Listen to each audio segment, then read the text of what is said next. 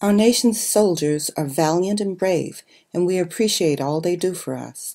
But sometimes they have more than physical combat wounds when they come back to us. Often they have trouble getting back into the swing of things with family, and they have trouble finding work. Sometimes there are too many horror movies running in their heads from combat and military sexual trauma. It's hard to get close to your own family with so much going on in your mind. But there are ways to help these issues that are simple, effective, and easy to learn. At Silver Lining Villages, we teach our heroes techniques to cope with post traumatic stress and anxiety in retreats designed just for soldiers. We have one to seven day retreats for people who've been in combat, but also those who have survived military sexual trauma and the families of these military heroes. Our retreats are designed for maximum results without dwelling on emotional pain.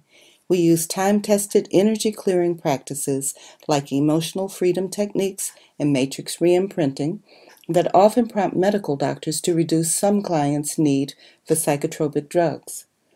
We don't, however, make any of those decisions, but work with your present treatment plan to help you achieve a less stressful life. We can design specialized and longer retreats upon request by contract.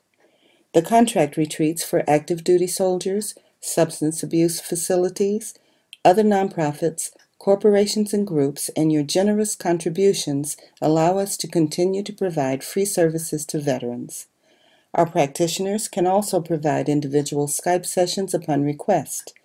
Please call for more information at 404 375 0245 or email us at info at silverliningvillages.org and visit our website at www www.silverliningvillages.org.